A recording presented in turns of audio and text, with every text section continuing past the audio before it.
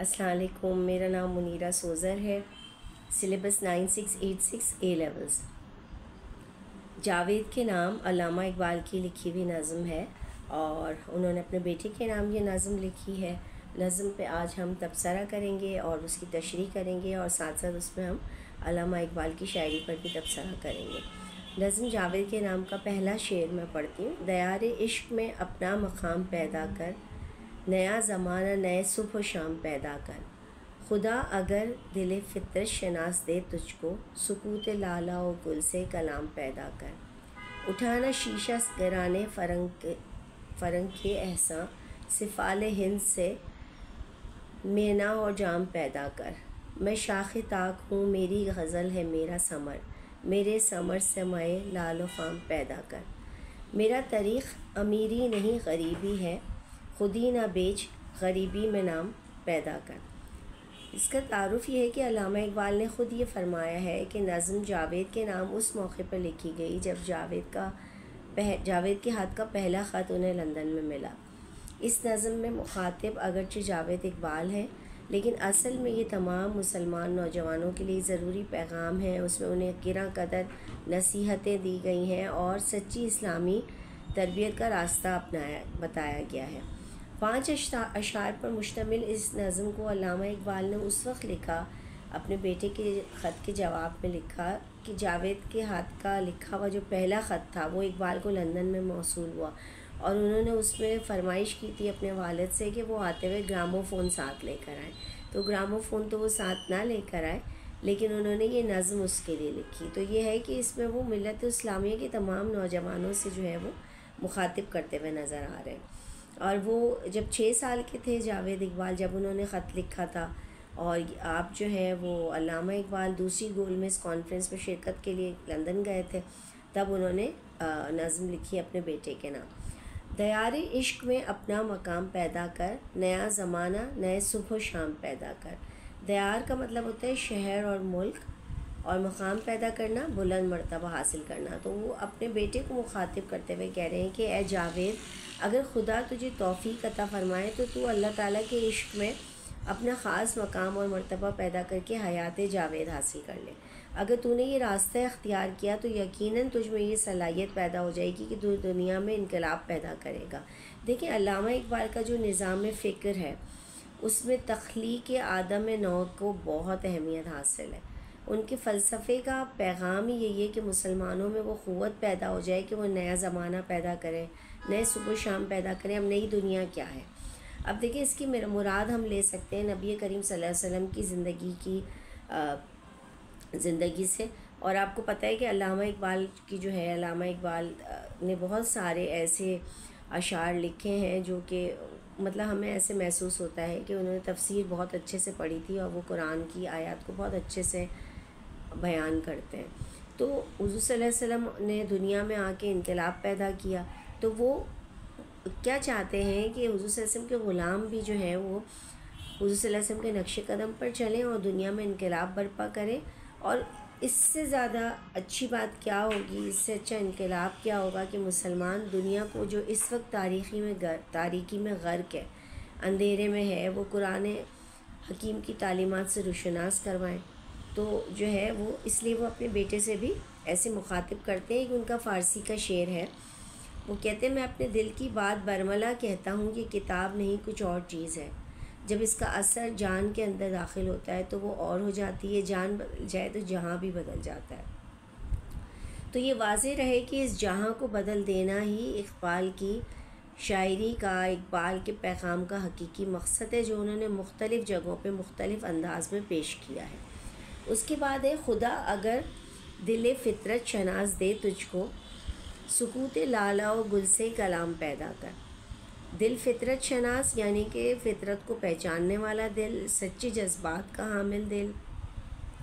सुकूत खामोशी तो वो ये कह रहे हैं कि अगर अल्लाह ताला तुझे मुताल फ़ितरत का ज़ौक़ अता कर दे, अगर तुम कुदरत को पढ़ने लग जाओ कि कुदरत, फ़ितरत क्या है तो तुम्हें फिर लाला गुल से भी अल्लाह ताला की हस्ती का सबूत मिल सकता है। लाला आपको पता है ना, फूल का नाम होता है। तो सुकूत लाला गुल से कलाम, अब इसमें सनत तज़ाद पैदा की गई। ये बड़ा दिलकश अंदाज है, सुकूत और कलाम, ठीक है?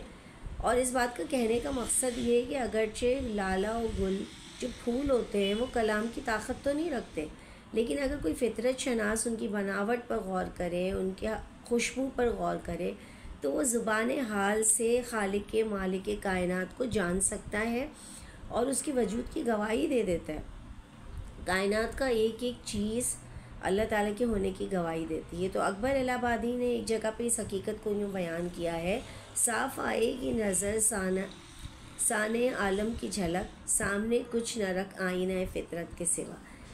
अच्छा जी, उठाना शीशा गराने फ़रंग के एहसान सिफाल हिंद से मैनाओ जाम पैदा कर।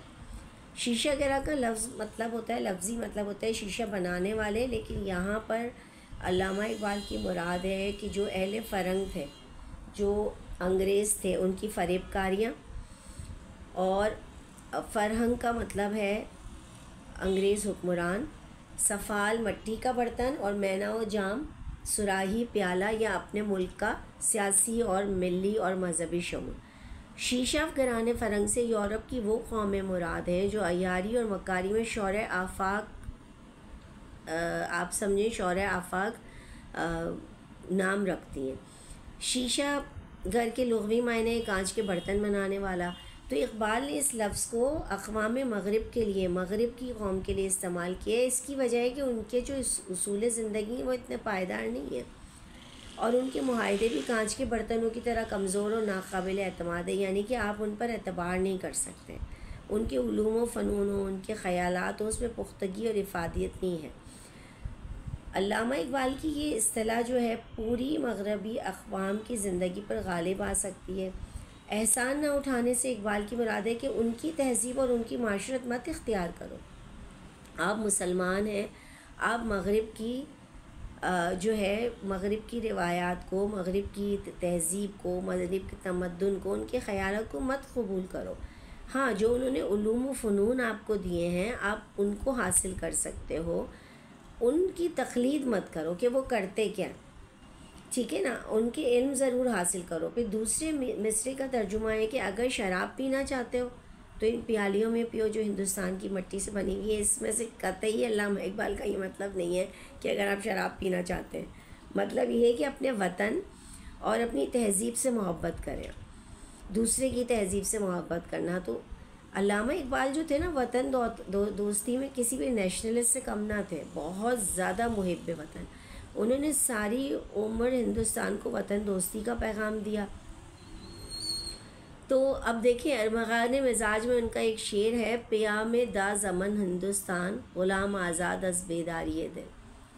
तो अब आप इसको नहीं लिखिएगा, मैं आपको ऐसी कोट कर रही थी, इतना परेशान होने की ज़रूरत नहीं, आप आराम से तशरी कीजिए, अपने तरीके से, अपनी ज़ुबान में। मैं सिर्फ़ आपको कोट कर रही थी, मैं शाख ताक हूँ, मेरी गज़ल है मेरा समर, मेरे समर से मैं लाला व फाम पैदा कर। शाख ताक, अंगूर की बेल की टहनी ठीक है, माए लालो फाम सुरख रंग की शराब। तो वो कह रहे हैं कि मैं अंगूर की बेल हूँ और मेरी गज़ल जो शायरी है, मेरा फल है। तो तुम मेरे इस फल से अपने लिए लाला जैसी सुरख रंग की शराब तैयार करो। अपने आप को उन्होंने अंगूर की बेल कहा है और अपने कलाम को उन्होंने अंगूर के खोशे से ताबीर दिए और अपने बेटे को ये वसात से नौजवाना ने मिलत को क्या पैगाम दिया है? कि इस खोशे से मैं लाल फाम पैदा करूँ। यानी कि मेरी जो शायरी है, उससे आप सबक लें। उससे आप जो मैंने अपने कलाम में जो असरार और रमूज़ बयान किए हैं, उनकी मार्फत करके उन पूरी तरह जहन नशीन करो, उन पर कारबंद हो जाओ और अपने अंदर मजहबी मिली और अपना सियासी शूर पैदा करो। लोगों को फॉलो करने की बजाय अपनी जो शनाख्त है, उस पर आप गौर करें। मेरा तरीक़ अमीरी नहीं, फ़कीरी है खुद ही ना बेच, गरीबी में नाम पैदा कर। तरीक़ का मतलब तौर तरीक़े हैं। अमीरी बादशाही, फ़कीरी, मुराद, दरवेशी, नाम पैदा करना शहरत और नाम बरी। कहते हैं कि मेरा ज़िंदगी गुजारने का तरीका अमीरी नहीं है, दरवेशी है। मैं बहुत सादगी से ज़िंदगी गुजारता हूँ। तुम भी उसी तरह से सादगी से ज़िंदगी, अपनी ज़िंदगी का मकसद बनाओ और अपनी ख़ुददारी ना बेचो। बल्कि गरीबी में नाम पैदा करो ताकि तुम्हारी खुददारी तुम्हारे लिए अजमत और शहरत का बायस बन जाए। देखिए, इंसान इज़्ज़त और शहरत हासिल करने के लिए अपनी खुद ही बेच देता है। अपनी वक़ार बेच देता है, अपना नाम बेच देता है और उसकी एवज़ दौलत हासिल कर लेता है। दौलत से उसको शहरत मिलती है। लेकिन अलामा इकबाल कह रहे हैं कि अगर इंसान हिम्मत और इस्तलाल से काम ले ना तो वो गरीबी में भी नाम पैदा कर सकता है। तो नाम पैदा करने के लिए आपको अपना ज़मीर बेचने की ज़रूरत नहीं है, आपको ज़मीन फरोशी की ज़रूरत नहीं है कि जो काम आपके ज़िम्मे का नहीं है, वो भी आप करते चले जाएँ और आप जो है ना बस सोचें कि नहीं, मेरा नाम हो जाए, मेरे पास पैसा आ जाए, नहीं। आप चाहें तो आप गुर्बत में नाम पैदा कर सकते हैं। खुदी को ना दे सेमो ज़र के एवज़, नहीं शोला देते शरर के एवज़। तो अल्लामा इकबाल के ज़माने में 1915 से 1935 के दरमियान जो है ना, बाज़ मुसलमानों ने क्या किया कि अपनी खुदी को बेच दिया। अब उनको अलक़ाबात मिल गए के बी आई मिल गया के सी एस आई मिल गया और नाम भी पैदा हो गया। लेकिन उनको हुसैन जैसा लक़ब नहीं मिला, उनको सिकंदर की हयात नहीं मिली, उनको लोग पहचानते नहीं हैं। ठीक है? उसने, उस ज़माने में अंग्रेज़ों से लेके उन्होंने अपने जो है, अपनी जागीरों हासिल करने के चक्कर में अंग्रेज़ों से उन्होंने अलक़ाबात ले लिए, ठीक है?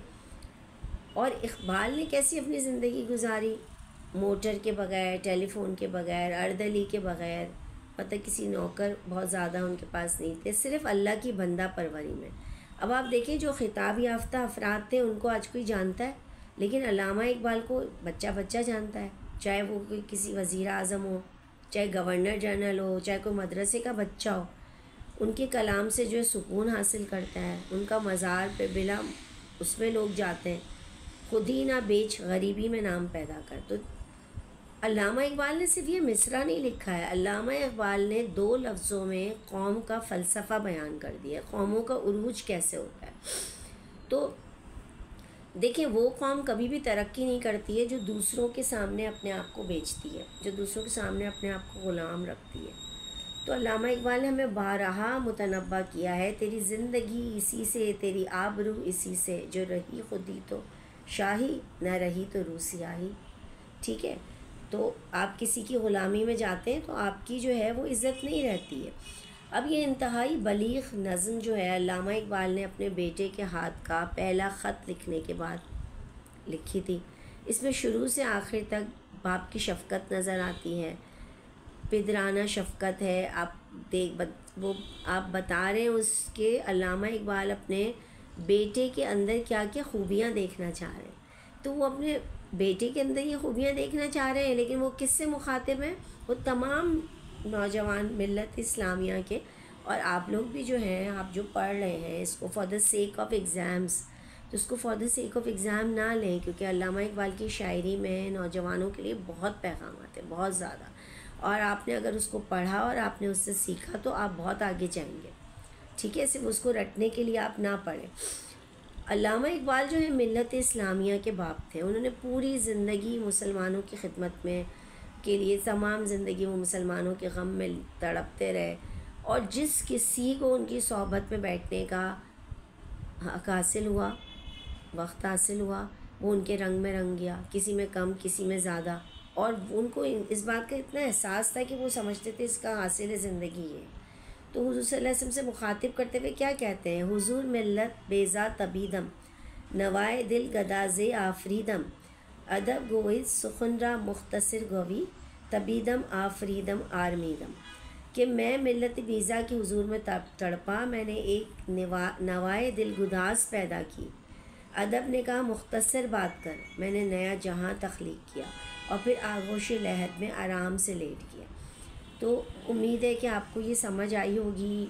बच्चे बहुत मुझे कह रहे थे कि जल्दी से आप जावेद नामा डालें। रह गई थी किसी तरह से। पेपर बहुत अच्छा कीजिएगा। चैनल को अब भी लाइक कर लें, सब्सक्राइब कर लें और शेयर करें अपने दोस्तों में जो आने वाले बच्चे हैं, जो अगले साल के लिए तैयारी करना चाह रहे हैं, उनके साथ शेयर करें। ठीक है? अपना बहुत ख्याल रखिएगा। अल्लाह हाफिज़।